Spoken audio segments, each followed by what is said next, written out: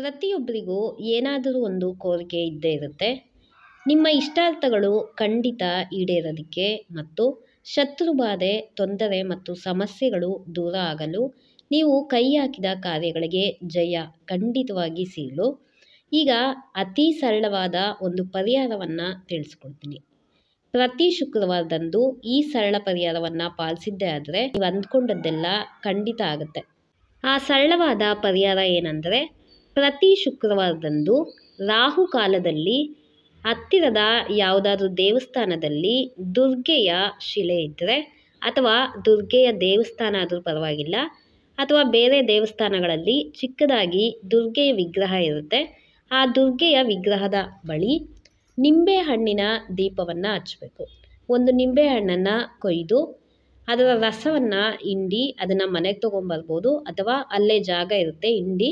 ಆ ನಿಂಬೆ ಹಣ್ಣನ್ನು ಸಿಪ್ಪೆಯನ್ನು ಎರಡು ಸಿಪ್ಪೆಗಳನ್ನು ಉಲ್ಟಾ ಮಾಡಿ ಅದಕ್ಕೆ ತುಪ್ಪವನ್ನು ಹಾಕಿ ಎರಡು ಹತ್ತಿಯ ಬತ್ತಿಗಳನ್ನು ತಿರುವಿ ಹಾಕಿ ಒಂದೊಂದಕ್ಕೂ ಎರಡು ನಿಂಬೆಹಣ್ಣಿನ ದೀಪಗಳನ್ನು ದುರ್ಗೆಗೆ ಹಚ್ಚಿ ಪ್ರಾರ್ಥನೆ ಮಾಡ್ಕೊಳ್ಳಿ.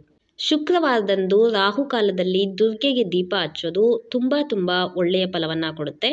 ಜೊತೆಗೆ ಸ್ವಲ್ಪ ಅರಿಶಿನ ಕುಂಕುಮ, ಹೂವನ್ನು ತೊಗೊಂಡೋಗಿ ಅಲ್ಲಿ ಇಡಿ. ಬೇರೆಯವರು ಇಟ್ಟಿರೋ ಅರಿಶಿನ ಕುಂಕುಮವನ್ನು ನೀವು ತಗೊಂಡು ಹಣೆಗೆ ಮತ್ತು ನಿಮ್ಮ ಮಾಂಗಲ್ಯಕ್ಕೆ ಇಟ್ಕೊಬೋದು.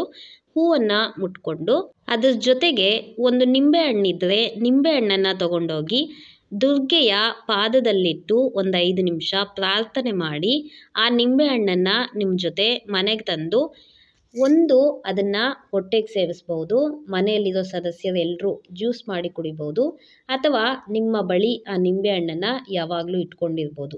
ಮತ್ತೆ ಮುಂದಿನ ಶುಕ್ರವಾರ ನೀವು ದುರ್ಗೆಗೆ ದೀಪ ಹಚ್ಚೋದಕ್ಕೆ ಹೋದಾಗ, ಇನ್ನೊಂದು ನಿಂಬೆಹಣ್ಣನ್ನು ದುರ್ಗೆಯ ಪಾದದಲ್ಲಿಟ್ಟು ಆ ನಿಂಬೆಹಣ್ಣನ್ನು ನಿಮ್ಮ ಬಳಿ ಇಟ್ಕೊಳ್ಳಿ. ಒಣಗೋಗಿದ್ದಂತಹ ನಿಂಬೆಹಣ್ಣನ್ನು ಒಂದು ಹಸಿರು ಗಿಡದ ಕೆಳಗಡೆ ಹಾಕ್ಬೋದು ಅಥವಾ ಹರಿಯೋ ನೀರಲ್ಲಿ ಬಿಡ್ಬೋದು.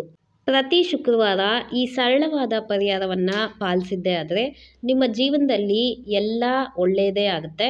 ಒಳ್ಳೆಯ ಬದಲಾವಣೆಗಳನ್ನು ನೀವೇ ಕಣ್ಣಾರೆ ನೋಡ್ಬೋದು. ಈ ಒಳ್ಳೆಯ ಮಾಹಿತಿಯನ್ನು ಬೇರೆಯವ್ರಿಗೂ ಶೇರ್ ಮಾಡಿ. ಮುಂದಿನ ವಿಡಿಯೋದಲ್ಲಿ ಇನ್ನೊಂದು ಉಪಯುಕ್ತವಾದ ಮಾಹಿತಿಯನ್ನು ನೋಡೋಣ. ಧನ್ಯವಾದಗಳು.